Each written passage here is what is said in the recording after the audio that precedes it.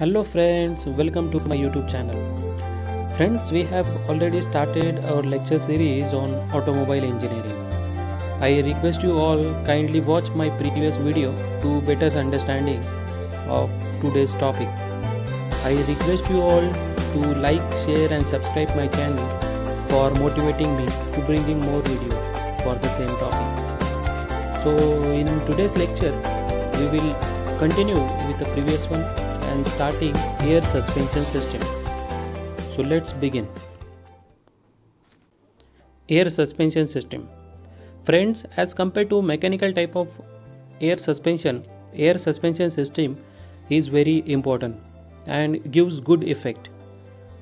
If you talk about the strength, then strength of the air suspension system is very much high.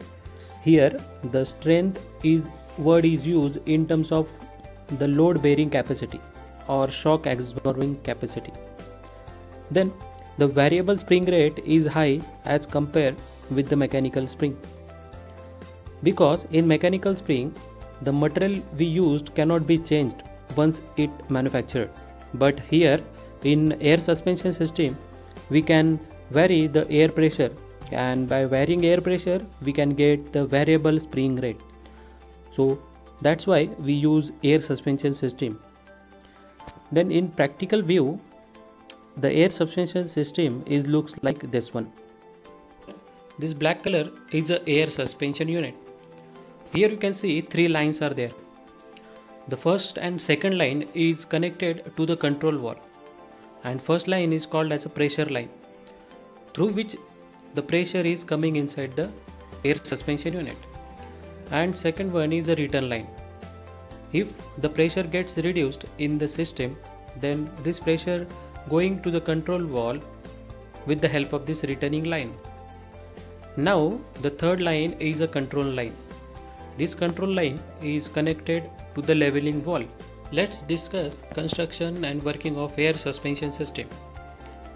So here a typical diagram of air suspension system. Here this side is a front side and this one is a back side.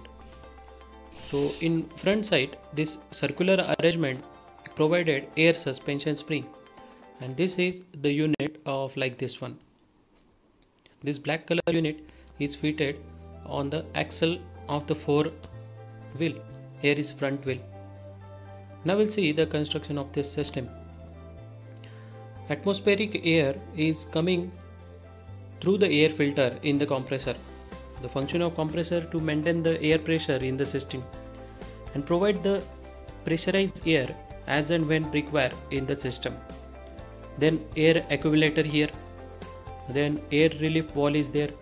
The function of relief valve when the system pressure is increased in the set value then relief valve is open and the air is going to the atmosphere. And when the system pressure is released then this valve get closed and the pressure coming inside the system rather to going to the atmosphere. Now this uh, relief valve is connected one line and then this line is connected to the lift control valve here. Here one is a lift control valve here is. This lift control valve contains two line. First one is a supply line one and uh, another is a return line the supply line is used to supply the air to the air spring and return line to collect the returning air. This lift control valve also provide one relief mechanism.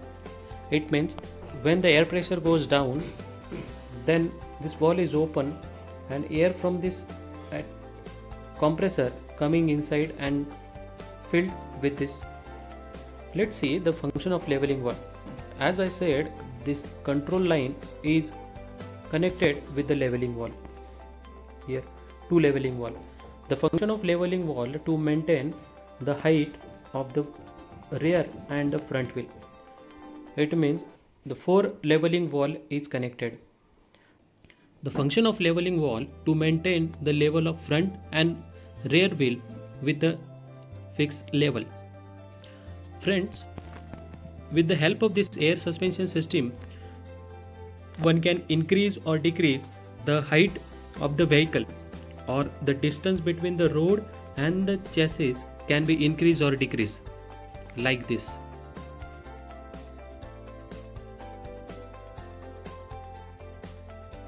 So let's see the function. When the uneven surface is coming on the road, then the tires moving upside, tire moving upside, and with this all the shocks is coming from the tire to this air suspension here. And as the air is present inside then it compresses and expands this unit. And because of this the pressure line is increase or decrease the air pressure.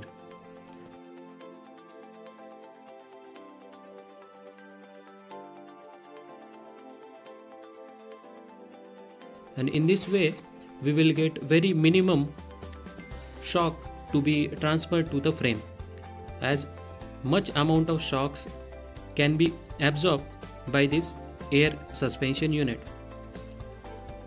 So in this way the function of air suspension system